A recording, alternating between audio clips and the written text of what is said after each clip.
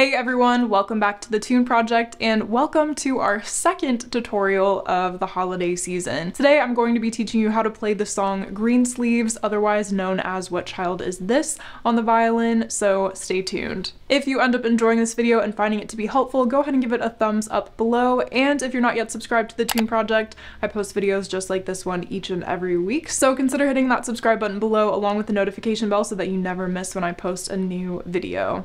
The timestamps of this video will be listed in the description box below if you'd like to skip around, and you can always adjust the speed in your video settings. Also, for the extended edition of this tutorial where I show you how to play the version of the tune you heard just a minute ago that kind of goes beyond the basic melody, definitely head on over to Patreon or become a member of the Tune Project right here on YouTube. All you have to do is click the Patreon link in the description box below or head on over to my YouTube channel homepage and click join. Now grab your fiddle and let's get into it. For this one, we are in 6-8 time and have an E minor key signature, so one sharp, and the first phrase goes like this.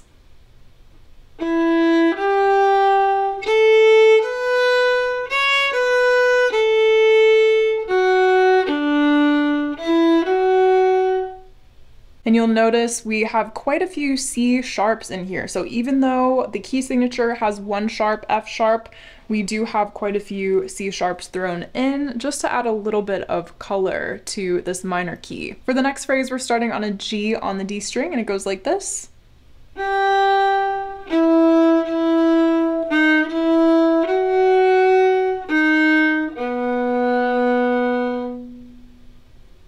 So we have another accidental in that phrase. The first time we had a C sharp, and in this phrase we had a D sharp. So I would recommend for that note using your first finger just in the lowered position on the D string. And our third phrase is exactly the same as the first phrase. So as a reminder, it goes like this.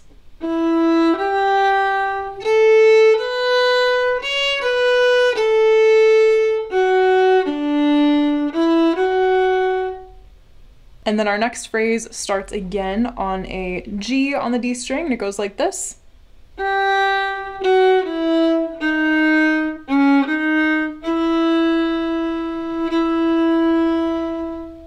So that one is probably one of the more challenging phrases that we have in this song. We have both a D sharp and a C sharp, a low C sharp that is. So we do have a stretch between our low first finger on the D string and high third finger on the G string. So just watch for that, make sure that you're listening for your intonation. And then once you come back to the D string, we are moving that first finger back up into the E natural position. This next phrase is a little easier. We're moving into the chorus of the song and we're starting on our third finger D on the A string.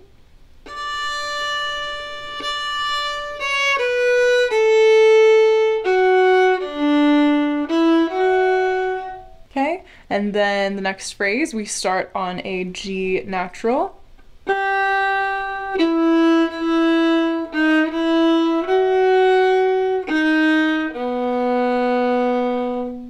More D sharps that times, watch out for those. And now we go back to the phrase that we had just a little bit ago, starting on D.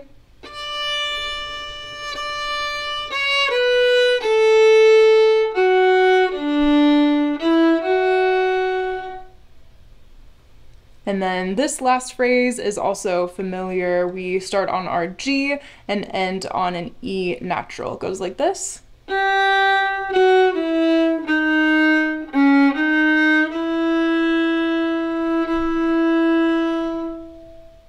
And that is all of Greensleeves. So now let's go ahead and review the song together and play the whole thing from the very beginning at a slow tempo. One, two, three, four, five.